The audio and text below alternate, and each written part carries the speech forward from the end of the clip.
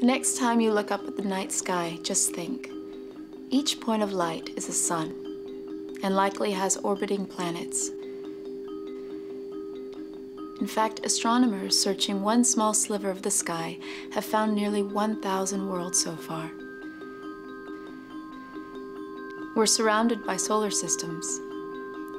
And as we learn more about the universe around us, NASA is developing capabilities on Earth and in space to send astronauts further into our solar system than ever before to an asteroid, Mars, and beyond.